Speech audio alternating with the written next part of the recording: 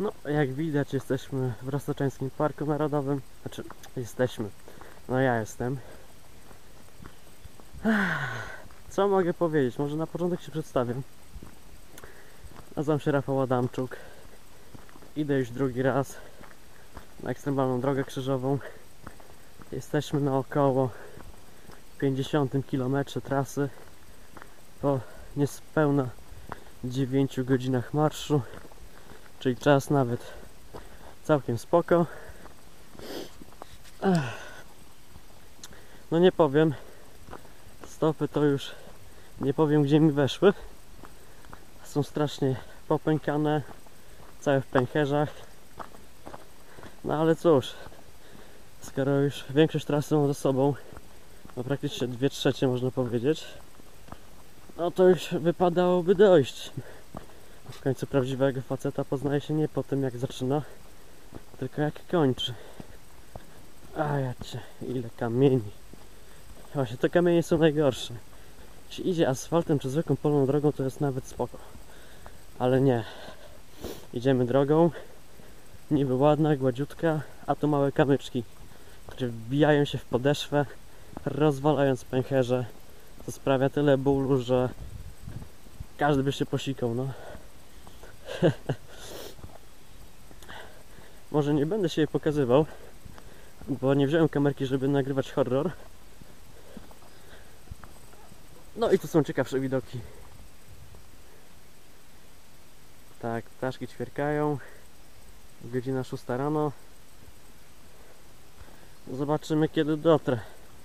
Mam nadzieję, że do godziny 8, znaczy to już na wyrost mówię, dojdę do tego Szczebrzeszyna,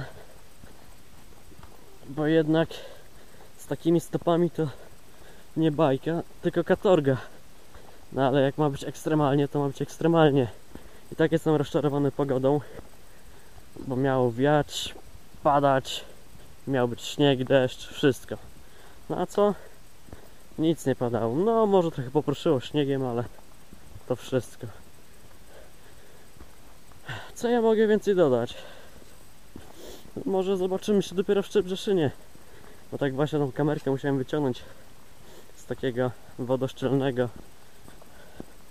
z takiej wodoszczelnej obudowy bo inaczej kiepsko byłoby mnie słychać i muszę trzymać się w ręce, bo nie kupiłem sobie takiej lagi na kamerę GoPro a to dość jest niewygodne, bo, bo jestem zmęczony, no co tu będę dużo mówił no dlatego trzymajcie się i do zobaczenia gdzieś tam na trasie, gdzieś jeszcze na pewno włączę tą kamerkę. No to adios. Ale chciałem wam pokazać jakie tu jest masakra. Jacie Znaczy Masakra, bo się wolniej idzie Ale Muszę przyznać Że stopy tak na tym nie bolą. Dlatego jest nawet Całkiem w pożądalu. Trochę mnie demotywuje myśl Że jeszcze 20 km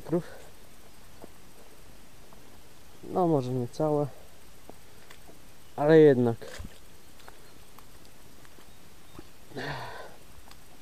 Jak szedłem przez park narodowy to tak właśnie z niego wyszedłem to miałem wrażenie, że mój mózg po prostu odmawia współpracy a już mówię dlaczego po prostu miałem jakieś dziwne zwidy widziałem rzeczy, których nie było nie wiem, czy to jest spowodowane po prostu może zmęczenie może po prostu fakt, że w lesie wszystkie zmysły pracują na 150%. Ciężko powiedzieć. Może jedno i drugie. O, ktoś czapkę zostawił. Hehe, dobra. Kończy ta droga. Zaraz będziemy wychodzić.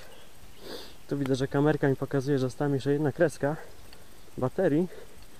Dlatego pozwolicie mi, że ojojoj, jakie błocko, że zostawię tą jedną kreskę baterii na finish, bo mam nadzieję, że do niego dotrę, że nie urwie mi nogi, nie wciągnie, nie wiem co jeszcze. No, także mam nadzieję, że do zobaczyska. No, trzymajcie się, cześć.